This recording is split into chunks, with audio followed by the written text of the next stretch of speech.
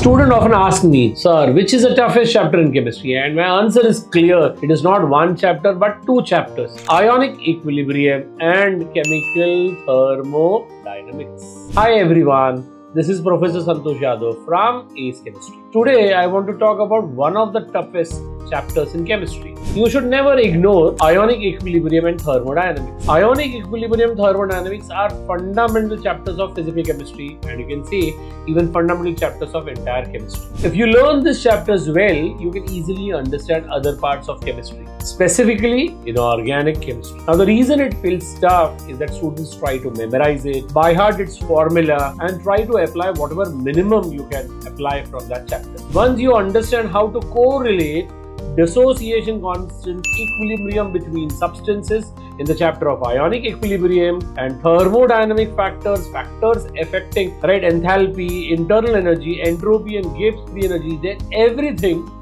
of this chapter looks and becomes easier.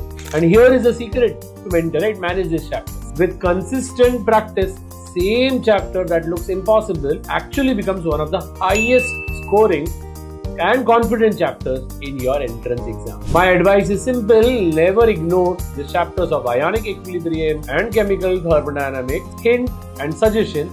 Learn it from first day of teaching. Practice it regularly. Do prescribed homework regularly. Learn its numerical aspect and you'll realize it's not your enemy but your strongest ally.